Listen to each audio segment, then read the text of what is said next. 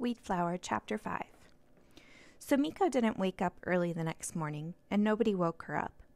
She wondered whether that meant they all knew about the party now. She dressed and then slapped and rubbed her face to try to bring blood to her skin. She pulled the silk scarf from under the mattress, where she'd put it the day before. The scarf made her feel humiliated all over again, so she stuffed it back under the mattress. After that, she went on into the living room. Jiichan was sitting in his chair reading the newspaper. He glanced at her. You go one party, and now you think you can wake up late? He scowled. That meant Bull hadn't told anyone, and neither had Tak Tak. Good morning, Jiichan. You look sick, he said, eyes puffy. I'm fine. You look sick. Go tell your auntie you're sick. Sumiko wished she were sick. She certainly didn't feel like working today. Sunday was her day for house cleaning and reading Japanese. If she had questions about the Japanese, she would ask Jiichan. Where's Tak Tak? she asked. Outside with horse. He get bored waiting for Sleepyhead. Jiichan read his Japanese newspaper the whole morning. Every so often he would say things to Sumiko like, Get me tea, or You start rice yet? or Rub my feet. Taking care of old men's feet was one of a woman's jobs, according to Auntie. Auntie used to rub Jiichan's feet until one day he accused her of trying to break his big toe. Now it was Sumiko's job. She was rubbing his toes when she heard honking from the road. She went to the front window and saw a car that looked like Mr. Hirata's driving alongside Mrs. Takahashi. As she ran down the road crying, Miss, Mrs. Takahashi didn't pay any attention to the car. Where could she be going? She lived in the opposite direction. She was 73 years old. Sumiko had rarely seen her walk, let alone run. The car pulled up in front of Sumiko's house. It was Mr. Hirata. The sweet pea king, Mrs. Takahashi, kept crying and ran right past the house. Sumiko opened the door before Mr. Hirata could knock. He was wearing his farm clothes and his face was dirty. He breathed hard, even though he'd been driving. He removed his hat and bowed slightly to her. Sumi chan, is your uncle home? He's out in the field. She paused. Do you want to sit down? No. May I talk to him? Mr. Hirata asked, barely concealing his impatience. Jiichan stood up, obviously insulted. Can I help? Mr. Hirata bowed his head respectfully and said, Matsuda san, it's only that I should talk to your son, too. He walked a couple of steps backward, nodding respectfully at Jiichan.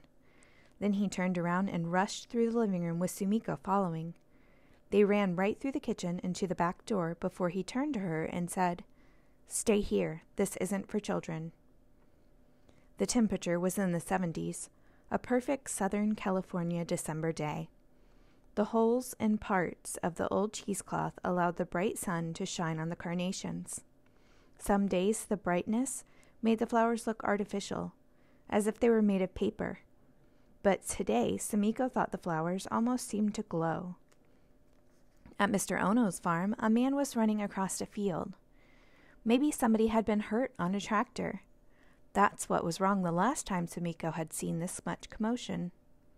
When Mr. Hirata reached her uncle, everyone except Bull stopped working to watch. Auntie and Ichiro walked over. Tak Tak was nowhere to be seen. Mr. Hirata was speaking loudly, but Sumiko couldn't make out what he was saying. Everybody started running across the field toward the house. Tak Tak stepped out of the stable. Uncle called out sharply to him, Takeo, get inside the house. Sumiko wondered who had been hurt and how badly. Then she had a terrible thought. Maybe a fishing boat on Terminal Island had sunk, and more than one person had been hurt.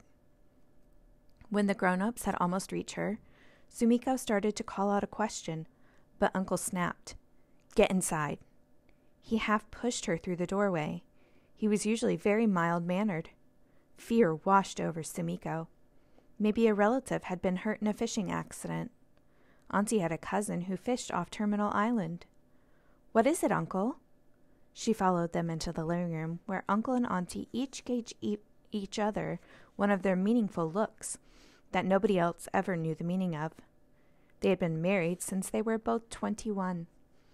Sumiko had the feeling that each knew exactly what the other was thinking. Their faces were pale.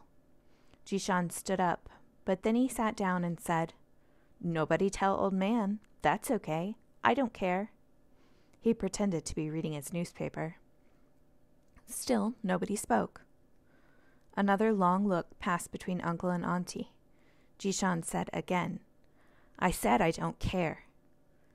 Uncle knelt on the floor and took Jiichan's hand as if Jiichan were a little child. Hirata san heard on the radio that Japan bombed Hawaii. Uncle said to Jiichan. Jiichan looked stricken. He softly said something that sounded like, Wa. But Sumiko knew what he'd said. War. There was another long silence as Auntie and Uncle stared at each other. The way they looked at each other scared Sumiko. Are they going to kill us? She half half whispered. Auntie said, Of course not. Don't talk like Tak Tak. Mr. Hirata cleared his throat, then bowed to the room and said to Uncle, Good luck. Let's talk later. He literally ran out the front door. And again there was silence. Then Auntie announced, We'll have to burn our things. She turned to Sumiko. Get your notebooks that you practice Japanese in. To Tak Tak, she said, Find all our Japanese books and magazines. Tak Tak rushed off. Sumiko turned to run off, but then she turned right back to Auntie. Burn our things? she said. What do you mean? What did burning their things have to do with the Japanese bombing Hawaii? Anything that might make them suspicious. But why? Sumiko said. Suspicious of what? Iso gasa nasai. Hurry. Auntie looked so furious that Sumiko immediately ran out of the room to fetch her notebooks. She stopped in the hallway and turned back to the living room. Auntie! But Auntie wasn't listening.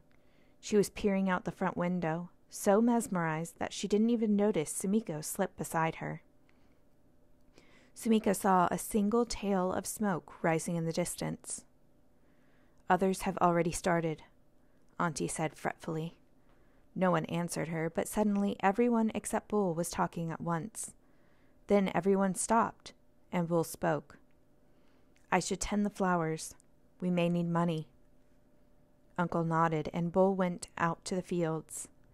I'm not going to burn my notebooks, Sumiko announced. She had worked hard to Japanese. Uncle leaned over Sumiko and shook her shoulders just once, as if shaking sense into her. If we are all arrested, who will take care of you? Now get your notebooks and anything else that seems un American. He spoke so solemnly that Sumiko felt terrified. He spoke as if he himself might be arrested simply because she could write Japanese. She ran to her closet. For a long while, she just stood in her closet, holding her notebooks close to her. Jiichan had paid old Mrs. Eek to help her write better. Mrs. Eek had also taught Sumiko's mother. By the time Sumiko got outside, Uncle had already started the fire on the dirt ground between the house and the flower fields. The wood in the fire looked like it had come from the bathhouse. Sumiko saw that on the Ono farm, the Onos had already started a fire. Sumiko held her notebooks tightly. Then she saw it. That's the picture from the bureau, she cried. You can't get arrested for that. That's my parents. She grabbed the stick her uncle was using to stoke the fire, but he took a firm hold of her arm. There's a Japanese flag in that picture, said Uncle. It's dangerous to keep. She turned to her fa- grandfather. Jiichan! But for once, Jiichan had nothing to say. He just scowled at his, her as if she was misbehaving. Sumiko held her notebooks up and whispered, Bye. Then she flung them into the fire and watched them smoke and turn black. It looked like a disease had struck the papers. The fire heated Sumiko's face. Ashes flew around her like insects. She suddenly remembered something she'd never remembered before ashes flying around a fire as she and her parents burned garbage in an incinerator. Her mother saying, Wish on the floating ash, Sumi chan, and Sumiko wishing. But she couldn't remember what she'd wished. Now she didn't move until every page had turned black and shriveled. Then Auntie made her run inside to find more things to burn. She didn't know what might be considered disloyal. If notebooks were somehow disloyal, then a Japanese silk fan also bad? And what about her kimono? Surely there was nothing dangerous about a kimono. She picked hers up, but then decided to push it far back into her closet. Except for Bull, the family spent the rest of the day combing the house for anything that seemed Japanese in a disloyal way, whatever that meant. By bedtime, Sumiko was exhausted. In the surrounding fields, a multitude of fires lit up the black night. She felt she could no longer stand up. Tak Tak was already asleep when she got to the bedroom. His face was black with ash. She wiped his face, but he didn't even notice. She wiped listlessly at her own face. She remembered that she hadn't heated the water tonight, just as she hadn't yesterday. But nobody had said anything about it either time. She sat up in her bed and saw that, outside, her aunt and uncle were standing in the glare of the fire. Whereas earlier they had seemed feverish, now they seemed automated and emotionless. Bull was probably in the stable talking to Baba. Bull had continued to work even after dark. She knew he would make sure they didn't run out of money. Later, long after she had gotten in bed, Sumiko could hear adult voices from the living room. Finally, she sneaked into the hallway to listen. A friend of mine got beat up last week, Ichiro was saying. Some Hakujin did it. Hakujin were white people. Then there was silence until Bull said, Dad, is the rifle in the closet? No, I already took it down. It's under my bed.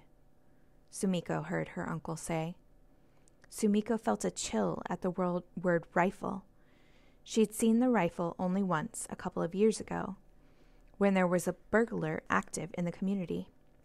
The burglar was never caught, and Sumiko never saw the rifle again. She turned around and found Tak Tak standing beside her. His mouth was hanging open. He looked terrified. The grown ups started getting ready for bed, and Sumiko led Tak Tak back to their room. I'll keep the blankets open, she whispered to him as she crawled in bed. She pulled the blankets apart. Okay? she said. Okay, he said. In the distance, Mr. Ono had not turned on the lights over his fields. His fire was still going strong. It was as if he no longer cared if his chrysanthemums bloomed early or not. All he cared about was burning his things.